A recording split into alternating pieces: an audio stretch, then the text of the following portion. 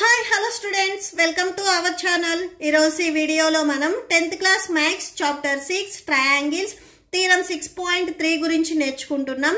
So మీకు ఈ చాప్టర్లో ఉన్న థీరమ్స్ అనేవి చాలా important basic proportionality theorem converse of basic proportionality theorem అంటే మీకు theorem six point one six point two so ఇప్పుడు వచ్చేసరికి six point three six point four six point five so ఈ థీరమ్స్ అనేవి మీకు చాలా ఇంపార్టెంట్ మీకు ఎగ్జామ్స్లో వచ్చేసరికి తీరం స్టేట్మెంట్ అండ్ ప్రూఫ్ వచ్చేసరికి కొన్నిసార్లు మీరే రాయాలని అడుగుతారు. సో మీరు తీరం ఆన్సర్తో పాటు సో ఆ తీరం స్టేట్మెంట్ ఇక్కడ ఏదైతే మీకు కండిషన్ ఇస్తున్నారో ఆ కండిషన్ కూడా కంపల్సరీ మీరు నేర్చుకోవాలి. ఎందుకంటే ఈ థీరమ్స్ మనం ఫర్దర్గా నెక్స్ట్ ఎక్సర్సైజ్లో కూడా యూజ్ చేస్తాం కాబట్టి సో తీరం స్టేట్మెంట్స్ అనేవి కూడా చాలా important. So theorem six point త్రీనే మనము ఏ ఏ సిమిలారిటీ క్రైటీరియన్ అని కూడా అంటాము. సో ఇక్కడ ఏ ఏ ఏ అంటే యాంగిల్ యాంగిల్ యాంగిల్. ట్రయాంగిల్లో మనకి టోటల్గా త్రీ యాంగిల్స్ ఉంటాయి కాబట్టి సో ఈ యాంగిల్స్ మీద సో ఇక్కడ మీకు తీరం స్టేట్మెంట్ అండ్ ప్రూఫ్ రాయాలి. సో తీరం స్టేట్మెంట్ చూడండి. If in two triangles so two ట్రయాంగిల్స్లో corresponding angles are equal corresponding angles అనేవి ఈక్వల్ అయితే then their corresponding sides are in the same ratio so angles ఇక్కడ angles చూడండి. ఇక్కడ ఏ దగ్గర ఉండే angle D దగ్గర ఉండే యాంగిల్ బి దగ్గర ఉండే యాంగిల్ ఈ దగ్గర ఉండే యాంగిల్. అండ్ నెక్స్ట్ సి దగ్గర ఉండే యాంగిల్ ఇక్కడ ఎఫ్ దగ్గర ఉండే యాంగిల్.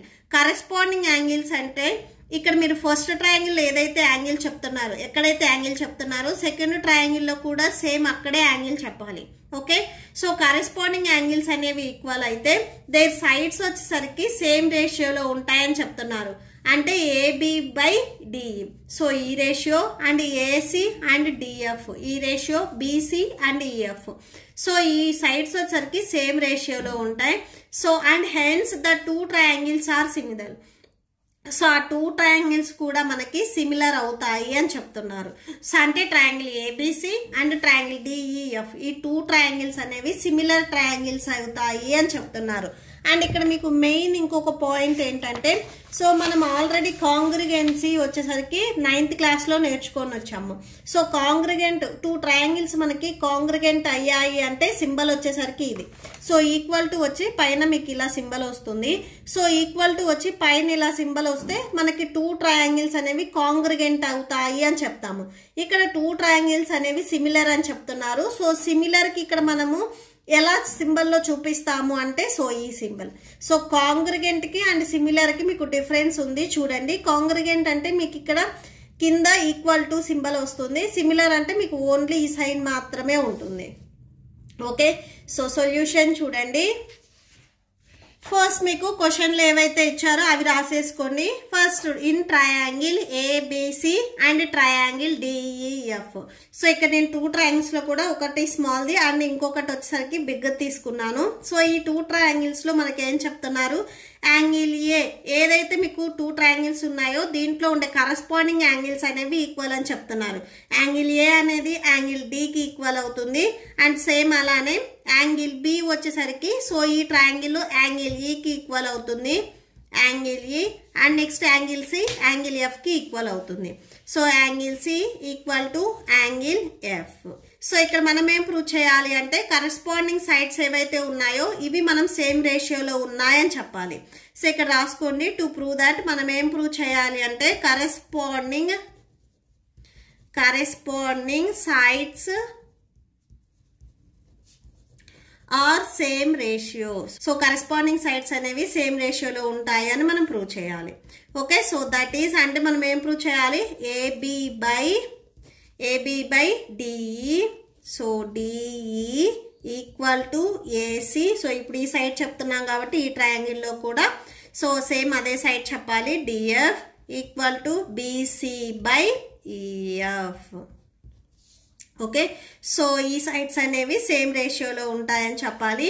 అండ్ ఇంకొక కండిషన్ కూడా మనం ప్రూవ్ చేయాలి. ఏంటంటే ఈ టూ ట్రయాంగిల్స్ అనేవి similar so and then triangle ABC and triangle DEF ఇవి రెండు సిమిలర్ అని చెప్పాలి. సిమిలర్కి సింబల్ వచ్చేసరికి ఇది. ఓకే మీరు డౌన్లో ఈక్వల్ టు రాయకూడదు. ఈక్వల్ టు రాస్తే అది కాంగ్రిగెంట్ అవుతుంది.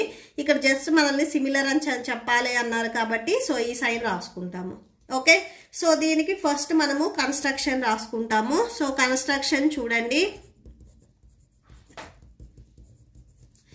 సో కన్స్ట్రక్షన్ చూడండి. ఇక్కడ మీకు ఏదైతే బిగ్ ట్రయాంగిల్ ఉందో ఇక్కడ న్యూగా నేను టూ పాయింట్స్ తీసుకుంటున్నాను. సో న్యూగా తీసుకునే పాయింట్స్ వచ్చేసరికి ఇది పి అండ్ ఇట్ సైడ్ వచ్చేసరికి క్యూ సో డిఈ ఈ సైడ్ మీద నేను పి అనే పాయింట్ తీసుకుంటున్నాను. డిఎఫ్ ఈ సైడ్ మీద క్యూ అనే పాయింట్ తీసుకుంటున్నాను. సో నేను ఫస్ట్ ఏం చేస్తున్నానంటే పిక్యూ అండ్ ఈఎఫ్ వచ్చేసరికి ప్యారలల్ సైడ్స్ అని ప్రూవ్ చేస్తున్నాను. ఓకే సో మీరు న్యూగా కన్స్ట్రక్ట్ చేసుకున్నది ఎప్పుడైనా కానీ డాటెడ్ లైన్తో చూపించాలి. సో నెక్స్ట్ చూడండి కన్స్ట్రక్షన్స్ సో ఈ డిపి సైడ్ ఏబికి ఈక్వల్ అవుతుంది అని తీసుకున్నాను. సో ఇది బిగ్ ట్రయాంగిల్ కాబట్టి సో ఇక్కడ ఏబీ సైడ్ ఎంత వరకు ఉంటుందో సో అక్కడ నుంచి ఈ ట్రయాంగిల్లో నేను పి వరకు ఒక పాయింట్ సో అంటే ఈ సైడ్ ఈ సైడ్ ఈక్వల్గా ఉండేటట్లుగా నేను కట్ చేసుకున్నాను.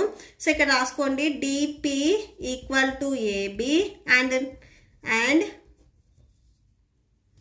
DQ equal to so ఈ డిక్యూ సైడ్ వచ్చేసరికి ఏసీకి ఈక్వల్ అవుతుంది.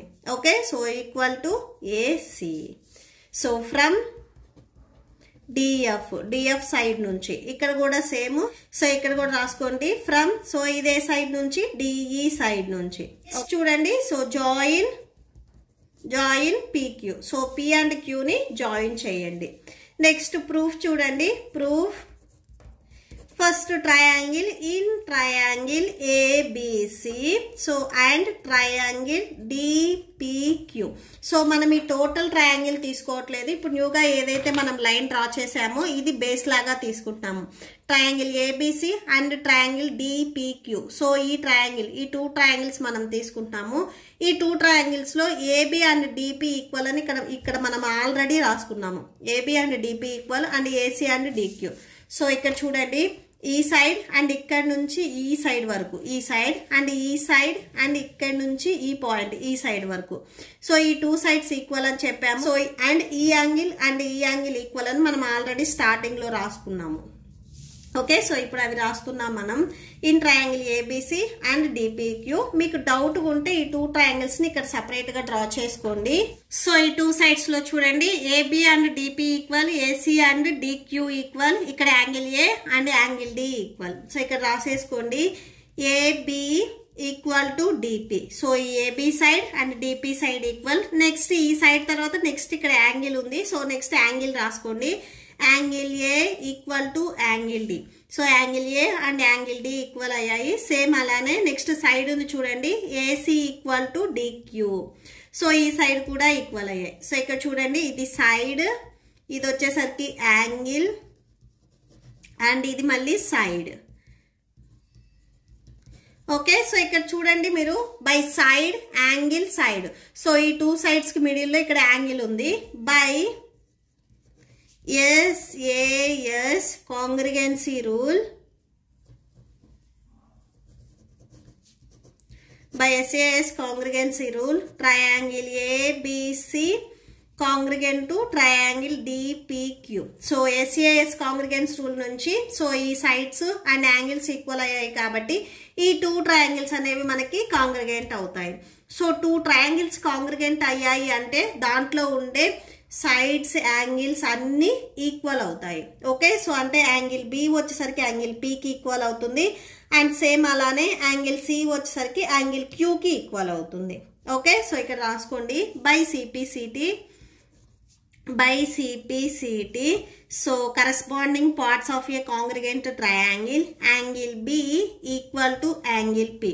So angle B అనేది యాంగిల్ పికి ఈక్వల్ అవుతుంది అండ్ గివెన్ క్వశ్చన్లో మీరు ఒకసారి అబ్జర్వ్ చేసినట్లయితే సేమ్ ఇదే యాంగిల్ బి అనేది యాంగిల్ ఈకి ఈక్వల్ అని మనకి గివెన్ క్వశ్చన్లో ఇచ్చారు సేమ్ ఒకసారి రాసుకోండి angle B equal to angle E so ఇది కరస్పాండింగ్ పార్ట్స్ నుంచి రాసుకున్నాము. ఈ టూ ట్రయాంగిల్స్ కాంగ్రిగెంట్ అయ్యాయి కాబట్టి సో ఇక్కడ ఉండే యాంగిల్ ఇక్కడ ఉండే యాంగిల్ అనేవి ఈక్వల్ అవుతాయి.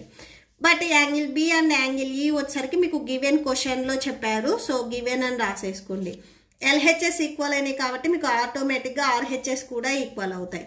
సో అంటే angle P and angle E వచ్చేసరికి మనకి ఈక్వల్ అవుతాయి. సేమ్ అలానే ఇటు సైడ్ కూడా చూడండి. అండ్ ఇక్కడ సేమ్ యాంగిల్ సి సో ఇక్కడ చూడండి ఈ angle C and angle Q వచ్చేసరికి ఈక్వల్ అవుతాయి. కాంగ్రిగెంట్ ట్రయాంగిల్స్ కాబట్టి కరస్పాండింగ్ యాంగిల్ సైడ్స్ అన్ని ఈక్వల్ అవుతాయి. సో యాంగిల్ సికి కరస్పాండింగ్ యాంగిల్ వచ్చేసరికి యాంగిల్ క్యూ ఇవి కూడా ఈక్వల్ అవుతాయి. అండ్ సేమ్ అలానే క్వశ్చన్లో యాంగిల్ సికి చూడండి యాంగిల్ ఎఫ్ అనేది ఈక్వల్ అని ఇచ్చారు. So angle C equal to angle F ఇది కూడా మనకి గివెన్ క్వశ్చన్లో ఇచ్చారు. ఒకసారి గివెన్ అని రాసేసుకోండి. ఓకే? సో ఎల్హెచ్ఎస్ ఈక్వల్ అయినాయి కాబట్టి ఆటోమేటిక్గా ఆర్హెచ్ఎస్ కూడా ఈక్వల్ అవుతాయి. Angle Q equal to angle F అవుతుంది. ఓకే? సో ఈ టూ యాంగిల్స్ ఇక్కడ మనకి ఈక్వల్ అయ్యాయి చూడండి. యాంగిల్ పి సో ఇక్కడ యాంగిల్ పి అనేది యాంగిల్ ఈకి ఈక్వల్ అయింది యాంగిల్ క్యూ అనేది యాంగిల్ ఎఫ్కి ఈక్వల్ అయింది. సో ఇక్కడ ఉండే టూ యాంగిల్స్ అనేవి డౌన్లో ఉండే టూ యాంగిల్స్కి ఈక్వల్ అయ్యాయి కాబట్టి సో కరెస్పాండింగ్ యాంగిల్స్ ఈక్వల్ అయ్యాయి కాబట్టి ఈ టూ సైడ్స్ ఏవైతే ఉన్నాయో ఇవి మనకి ప్యారలల్ అవుతాయి. ఓకే కరెస్పాండింగ్ యాంగిల్స్ ఈక్వల్ అయినాయి కాబట్టి సో పీక్యూ అండ్ ఈఎఫ్ వచ్చేసరికి ప్యారలల్ సైడ్స్ అవుతాయి. సో ఇక్కడ రాసేసుకోండి. Therefore PQ parallel to EF so ఇక్కడ సిన్స్ పాయింట్ రాసుకోండి. Corresponding corresponding angles are equal అండి సో ఇక్కడ మనకి పీక్యూ అండ్ ఈఎఫ్ అనేవి ప్యారలల్ సైడ్స్ అని వచ్చాయి. So by the basic proportionality theorem so theorem six point one నుంచి మనం రాసుకుంటున్నాము. ట్రయాంగిల్లో ఉన్న వన్ సైడ్ అండ్ ఇక్కడ రిమైనింగ్ టూ సైడ్స్కి ఎక్కడైతే డిస్ట్రిక్ట్ పాయింట్స్ ఉన్నాయో ఈ పాయింట్స్ నుంచి వచ్చిన లైన్ ఈ టూ లైన్స్ అనేవి మనకు ప్యారల్ అయితే ఈ డిస్ట్రిక్ట్ పాయింట్స్ అనేవి రిమైనింగ్ టూ సైడ్స్ని ఈక్వల్ రేషియోలో డివైడ్ చేస్తాయి. అంటే DP by PE equal to DQ by QF అవుతుంది. సో ఇక్కడ రాసుకోండి. DP by PE equal to DQ by QF so ఈ రేషియోలో డివైడ్ చేస్తుంది.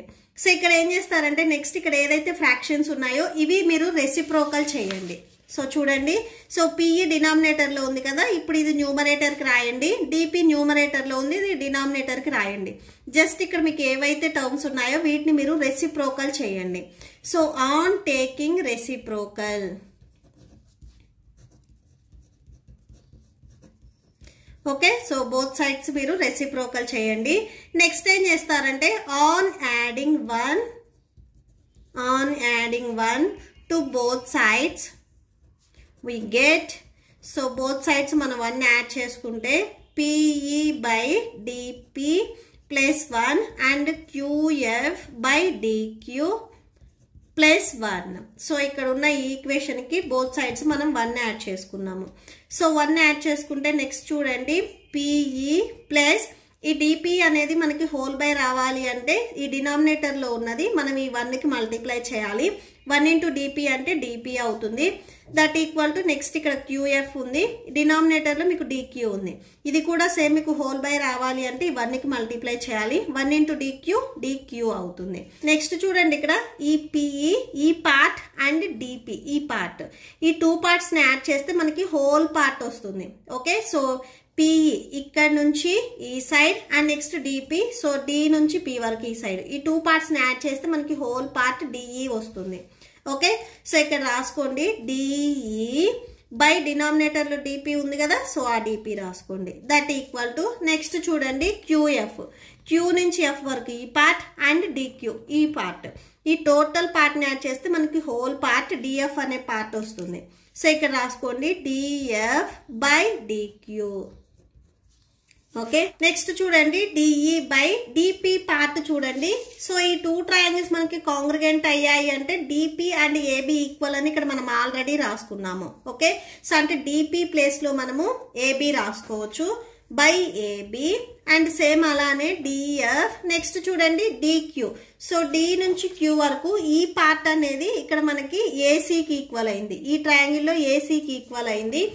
సో డిక్యూ ప్లేస్లో మనము ఏసీ రాసుకోవచ్చు. సో ఇక్కడ ఎలా రాసుకున్నాము అంటే మీకు ఈ పాయింట్స్ దగ్గర గుర్తుండాలి అనుకుంటే సో పెన్సిల్తో ఇక్కడ మీరు దీనికి వన్ అండ్ దీనికి ఈక్వేషన్ నెంబర్ టూ ఇవ్వండి. మీకు ఈజీగా గుర్తుంటుంది. ఓకే సో ఇక్కడ నేను రాస్తున్నాను చూడండి. DP AB equal to DP AB value డిపికి equal అయింది. అండ్ నెక్స్ట్ వచ్చేసరికి AC equal to DQ so DQ value అనేది ఏసీకి ఈక్వల్ అయింది కాబట్టి సో ఈ ప్లేస్లో ఈ టూ వాల్యూస్ ప్లేస్లో మనం ఈ వాల్యూస్ని సబ్స్టిట్యూట్ చేసుకున్నాము. నెక్స్ట్ దీన్ని కూడా ఒకసారి మీరు రెసిప్రోకల్ చేయండి.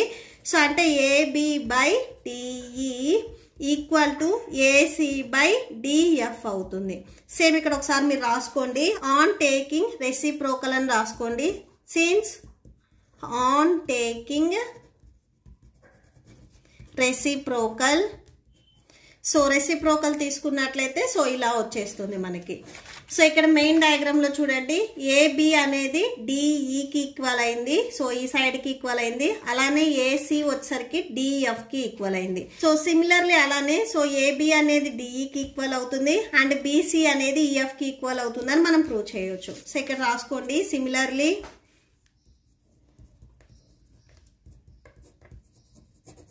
similarly AB by DE so same ఇదే ఏబి బై డిఈ సైడ్కి బీసీ మీకు డౌన్లో బేస్ ఏదైతే ఉన్నాయో ఆ సైడ్స్ కూడా ఈక్వల్ అని మనం ప్రూవ్ చేయొచ్చు.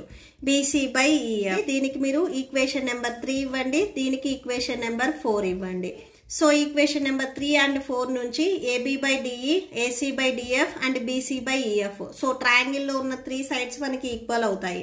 ఓకే సో ఇక్కడ రాసేసుకోండి. From equation three and equation four. So equation three and four నుంచి ఏబి బై డిఈ సో ఈ సైడ్ అనేది మనకి ఏసీ బై డిఎఫ్కి ఈక్వల్ అయింది. సేమ్ ఇదే ఏబి బై డిఈ సైడ్కి బీసీ బై ఈఎఫ్ అనేది ఈక్వల్ అయింది. సో మనం ప్రూవ్ చేయాల్సింది కూడా ఇదే. ఒకసారి మీరు క్వశ్చన్ అబ్జర్వ్ చేసినట్లయితే కరెస్పాండింగ్ సైడ్స్ ఏవైతే ఉన్నాయో వాటిని ఈక్వల్ అని చెప్పాలి. సో అంటే ఈ సైడ్ దీనికి ఈక్వల్ అయింది బీసీ సైడ్ ఈఎఫ్కి ఈక్వల్ అయింది ఏసీ సైడ్ డిఎఫ్కి ఈక్వల్ అయిందని మనం ప్రూవ్ చేసాము సో ఈక్వల్ అయినాయి కాబట్టి ఈ టూ ట్రయాంగిల్స్ అనేవి మనకి సిమిలర్ అవుతాయి.